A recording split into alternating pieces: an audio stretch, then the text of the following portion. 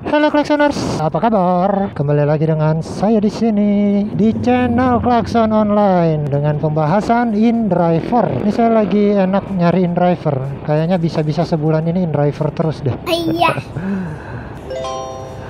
Lah dapat orderan. Belum tentu, belum tentu.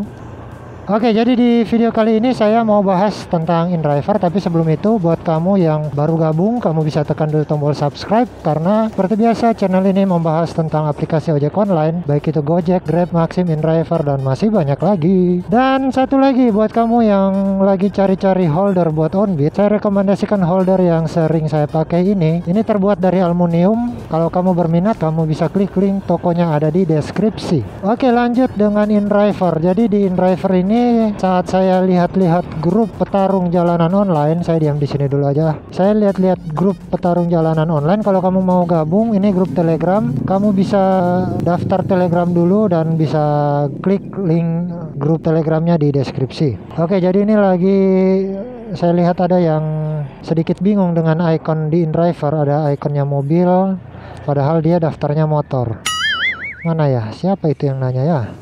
Nah ini sama. Dia bilang saya sama bang. Icon mobil. Tapi sebelumnya saya konfirmasi dulu orderannya. Ribetnya icon mobil pas pakai navigasi daerahnya ketol mulu Eh, kalau hubungannya icon mobil terus sama navigasi itu menurut saya beda ya. Karena kalau settingannya memang kalau di GPS Google Maps itu arahnya saya lihat tidak ada untuk motor hanya ada mobil. Tapi kalau kamu mau menghindari jalan tol di situ ada pilihan untuk menghindari menghindari jalan tol. Tapi untuk sekarang saya bahas tentang icon InDriver dulu ya jadi icon InDriver ini apakah dia berpengaruh atau enggak? Jadi nanti lihat ah, ini saya mau coba ambil orderan ya. Jadi di sini ada Martin yang jawab. Ma Martin, Martin, ya bang. oh bukan, si Martin dapat pengantaran. dia dapat order kurir pertama kali katanya. Nuha Nuha Food yang nanya. Jadi kalau kamu mau gabung di grup ini, kamu bisa klik link grupnya ada di deskripsi. Oke, jadi sekarang lanjut cari orderan.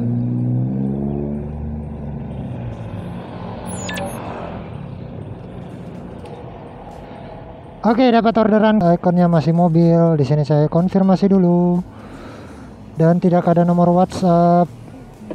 Jadi kita telepon langsung. Ambil helm. Halo. Halo, selamat pagi. Kak dari InDriver ini. Iya iya. Oh, Sesuai titik. Oke, siap Kak. Saya menuju ke sana ini, Kak. Oke. Terima kasih. Yuk yuk. Yuk. Selesai ditelepon, kita navigasi. Setelah 100 meter, belok kiri setelah Alfamart Walter Monginsidi di sebelah kiri, ke Jalan Manibang 2. Lalu kita singgah dululah ngadem di Alfamart. Ini mau cepat-cepat kok sehingga beli di Alfamart. Ngadem bang, ngadem doa. Enggak beli. Ini mau cepat kok. Belok kanan, lalu belok kiri. Belok kanan. Oke, kanan. Lalu belok kiri. Kiri. Ya, ini kiri nih. Kiri ini salah arahnya itu kiri depan. Belok kiri, lalu tujuan Anda nanti Kiri berada ini. di sebelah kanan. Ah, kiri yang mana? Kiri itu ada banyak. Situ ada satu, dua, tiga. Ada tiga kiri. Jadi bilang lorong ketiga belok kiri gitu. Terserahlah. Oke, sini selesai. Saya sudah sampai. Tujuan Anda berada di sebelah kanan. Ya, udah udah dari tadi. Ini tujuannya ke Jalan Katamso. Lumayan lah. Waduh, panas pak. Udah dibilangin ngadem dulu tadi. Oh ini, Kak Yuda? Oh iya. Oke. Rasain lu disuruh nunggu. Tunggu udah lama, tapi udah panas pak. Nah ini Ke pasti ngaco arah nih. utara, lalu belok kanan. Nah ini GPS ini ngaco loh. Ikonnya ikon apa nih? Ini ke Katamso, Jalan Katamso ya. Oh ya. Oh boleh. Sudah.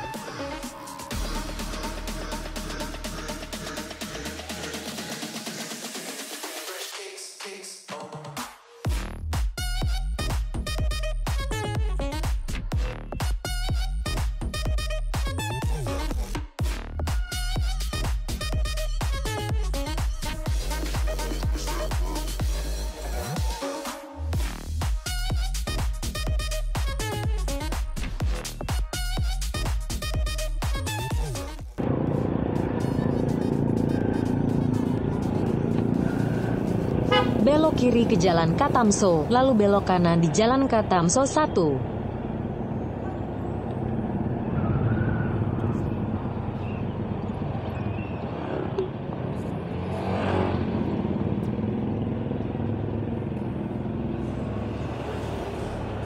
Belok kanan di Jalan Katamso 1, lalu tujuan Anda nanti berada di sebelah kanan. Kanan, Kang. Kanan, Iya Kang. kanan, kanan kanan. Mas ini, Jang. 22.500, Kak. Ini, Kak. Oke, helmnya, Kak. Oke, terima kasih. Helmnya jangan dibawa juga dong. Bintang 5. Tujuan Anda berada di sebelah kanan. butuh motor metik butuh motor metik cuma kirim barang kenapa nggak pakai layanan kurir kan tadi ada tulisan eh, orderan butuh motor metik cuma kirim barang. Itulah pengaruhnya kalau eh, di profil kita itu jelas kendaraan kita ya kan? Oh iya saya lupa tadi nanya dia pesannya mobil apa motor? Tapi biasanya sih kalau menurut saya kalau customer nggak komplain gitu ya udah berarti dia pesannya tetap motor. Tapi nggak tahu ya kalau customer yang diem-diem tapi nanti dihajarnya lewat komentar itu yang parah kita cari selanjutnya orderan ketiga oke jadi Google ke mana lagi sekarang kita Ya ke tempat pengantaran lah. Anda akan mendapatkan orderan baik tapi disuruh ambil barang saja. Dan ikonnya mobil. Oke, siap. Lah, nyambung pak. Semoga kalau diambil, kalau nggak diambil, ya nggak nyambung.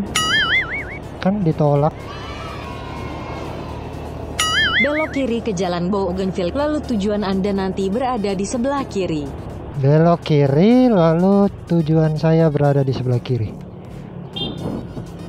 Tujuan Anda berada di sebelah Plastik kiri. Oke, ini kayaknya.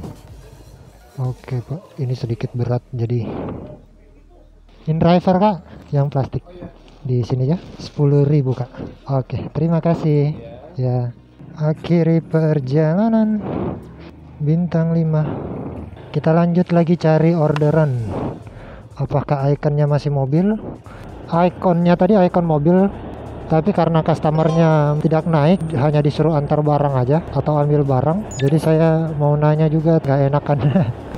Oke, jadi begitulah untuk ikon dari InDriver. Jadi buat kamu yang daftarnya motor, tetap akan dapat layanannya motor.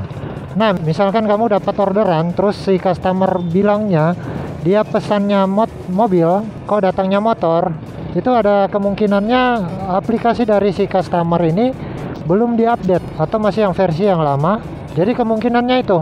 Jadi kamu coba aja lah kalau baru satu dua orderan yang kamu dapat orderannya jenisnya seperti itu yang bilang dapatnya motor, yang bilang pesannya motor, eh pesannya mobil tapi datangnya motor, kamu coba jalankanlah sampai 5 8 orderan. Kalau emang semuanya begitu ya berarti ada yang salah saat pendaftaran. Tapi kalau emang kamu udah yakin kamu daftarnya emang udah motor, pasti akan tetap akan dapat motor. Kecuali sistemnya lagi gangguan. Jadi untuk icon jangan kamu menjadi patokan sehingga itu membuat kamu jadi takut untuk ambil orderan. Ya kalau kamu takut kapan dapat orderannya, Pak? Tapi ya wajar sih saya juga dulunya awal eh, daftar ojek online ya masih takut-takut. Ini betul nggak orderannya? Tapi kalau emang kamu ragu ya telepon lah bicarakan dengan si customer tanya eh, apa ini mo- motor atau mobil lah jadi tadi kan seperti lihat banyak ikon-ikon mobil yang muncul tapi tetap yang datang itu motor oke jadi sampai di sini dulu untuk video kali ini Jangan lupa untuk subscribe channel ini agar kamu tidak ketinggalan informasi terbaru dari ojek online. Dan jangan lupa untuk like jika suka, dislike kalau nggak suka. Sampai jumpa di video klakson online selanjutnya. Bye-bye.